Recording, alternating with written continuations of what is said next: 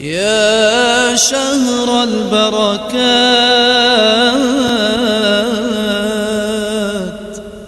يا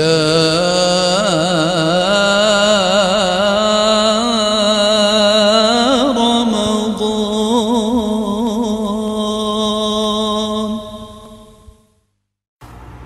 ایک اور سوال لے لیتے ہیں۔ بھائی نے سوال پوچھا ہے کہ ہیئر ٹرانسپلانٹیشن کے بارے میں اسلام میں کیا حکم ہے؟ تو بھائی دیکھیں، ہیئر ٹرانسپلانٹیشن اب اس کا پہلے ہم پروسیس دیکھتے ہیں۔ جو تحقیق میں میرے سامنے آیا ہے، ایک تو وہ یہ پروسیس ہے کہ آپ ہی کے سر میں سے جو پرماننٹ بال ہوتے ہیں نا، جو پیچھے جو جاتے نہیں ہیں، سر کے پیچھے کے حصے کے بال، وہاں سے کٹ لگا کے چیری کاٹ کے پھر اس کو آپ کے آگے کے حصے میں، جہاں جہاں بال نہیں ہیں وہاں پہ آپ کی سکن میں ہول کر کے لگا دیتے ہیں۔ اس طرح سر بھر جاتا ہے۔ یا پھر ایک طریقہ یہ ہے کہ جہاں پرماننٹ بال ہیں، وہاں سے ایک ایک بال نکال کے پھر مختلف جگہوں سے آگے جہاں جہاں مسنگ ہیں وہاں سوراخوں میں ایک ایک بال سکن کے اندر لگایا جاتا ہے، پیوست کیا جاتا ہے۔ تو ان دونوں صورتحال میں اسی بندے کے بال اسی بندے کے سر پہ لگ جاتے ہیں۔ اب اس ضمن میں کیا حکم ہے؟ امام ابو حنیفہ کے بہت مشہور شاگرد امام ابو یوسف رحمت اللہ علیہ، انہوں نے چند ایک احادیث سے جو استمباد کیا تھا، دانت کے مسئلے میں۔ اور امام ابو حنیفہ سے مختلف رائے تھی ان کی، امام ابو حنیفہ کے نزدیک دانت اگر ٹوٹ جائے تو کیا وہی دانت واپس لگا سکتے ہیں یا اور دانت لگانا ہوگا؟ تو اس مسئلے میں امام ابو حنیفہ کی رائے تھی کہ وہی دانت آپ اندر نہیں لگا سکتے۔ جبکہ امام ابو یوسف کی رائے تھی کہ آپ وہی دانت اسی شخص کا دوبارہ اندر لگا سکتے ہیں۔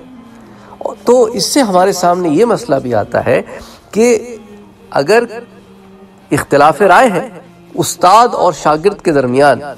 تو بھی انہوں نے ایسا نہیں کیا کہ اپنا کوئی الگ دفتر کھول لیا۔ وہ حنفی المسلک ہی رہے، اختلاف رائے تھی۔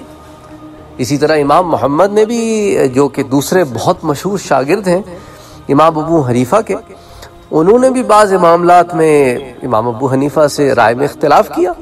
لیکن استاد رہے، امام ابو حنیفہ ان کے اور وہ شاگرد رہے، امام ابو حنیفہ کے۔ تو اب پچھلے درس میں میں نے آپ سے یہی کہا تھا کہ دیکھیں، ان علمی اختلافات ایک طرف، ادب ایک طرف۔ بہرحال، ان کے نزدیک جن حدیثوں سے وہ استمباد کرتے ہیں، ان میں سے ایک تو حضرت قطادہ والی حدیث ہے کہ ایک جنگ کے دوران حضرت قطادہ کی آنکھ لٹک گئی۔ تو انہوں نے اس آنکھ کو کھینچ کے نکال لیا۔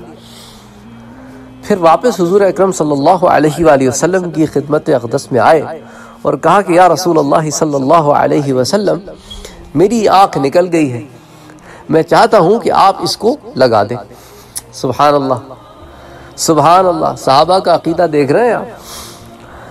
تو حضور اکرم صلی اللہ علیہ وآلہ وسلم نے وہ آنکھ جس جگہ سے نکلی تھی، وہاں دوبارہ فٹ کر دی۔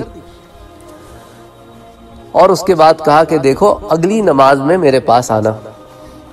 جب اگلی نماز میں حاضر ہوئے تو کہا ہاں قطادہ آنکھ کیسی ہے کہا، حضور اکرم صلی اللہ علیہ وآلہ وسلم، اب میں اس بات کے اندر ڈیسیجن نہیں کر پا رہا ہوں کہ کون سی والی آنکھ زیادہ تیز دیکھ رہی ہے۔ مجھے لگتا ہے کہ جو آپ صلی اللہ علیہ وآلہ وسلم نے لگائی ہے وہ آنکھ زیادہ تیز ہے بنسبت اس آنکھ سے جو پہلے سے اندر لگی ہوئی تھی۔ اللہ اکبر۔ تو وہ کہتے ہیں کہ بھئی ایک ہی آدمی کی آنکھ اسی آدمی کو واپس جو لگائی گئی ہے، اس سے ہم یہ مسئلہ استعمال کرتے ہیں کہ دانت بھی لگائے جا سکتے ہیں۔ اور بھی چند ایک روایات وہ پیش کرتے ہیں۔ تو انہی روایات کو سامنے رکھتے ہوئے آج کے جو علماء ہیں، جو محققین ہیں انہوں نے اہل سنت والجماعت کے جو محققین ہیں، علماء ہیں فقہاء ہیں انہوں نے اسی سے یہ مسئلہ استنباط کیا ہے کہ امام ابو یوسف کے فتوے پر کہ چونکہ آنکھ آنکھ کی جگہ اسی شخص کے لگ سکتی ہے، تو اسی شخص کے بال پھر اسی شخص کے سر میں بھی لگ سکتے ہیں۔ اب یہاں پہ دو تین اور باتیں دیکھ لیتے ہیں، ٹرانسپلانٹیشن سے متعلق کہ ایک تو یہ ہو گیا کہ آپ ہی کے بال آپ کو لگ گئے۔ دوسرا طریقہ یہ ہوتا ہے کہ اب کیونکہ اتنی ایڈوانسمنٹ ہو گئی ہے کہ مصنوعی بال لیبارٹریز میں ایسی دھاتوں سے بنائے گئے ہیں پلاسٹک کو ایسا پروسیس کر کے کہ وہ بالکل بال جیسے ہوتے ہیں۔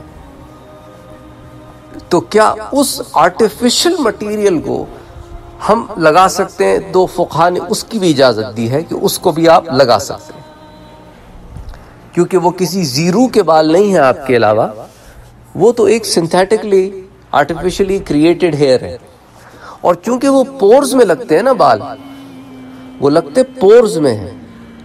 تو اس سے کیا ہوتا ہے، جب پورز میں وہ لگتے ہیں، تو آپ جب غسل کرتے ہیں یا آپ وضو کرتے ہیں، تو پھر پانی جڑوں تک پہنچ جاتا ہے۔ تو آپ نے کوئی ایسی ٹوپی نہیں پہنی ہوئی وک کی طرح کی جو جڑوں کو کور کر دے تو چونکہ جڑوں تک پانی پہنچ جاتا ہے، اس لیے بالکل ٹھیک ہے۔ جس چیز سے فقہ نے منع کیا ہے، وہ دوسری دو صورتیں ہیں۔ ایک، کسی اور آدمی کے یا شخص کے بال نہ لگوائیں۔ اس میں وہ کہتے ہیں، پتہ نہیں کس کے بال ہیں، کیا ہے۔ اللہ عالم بہتر ہے، وہ کہتے ہیں کہ دوسرے شخص کے بال نہ لگائیں۔ دوسرا، کسی جانور کے بال نہ لگائیں۔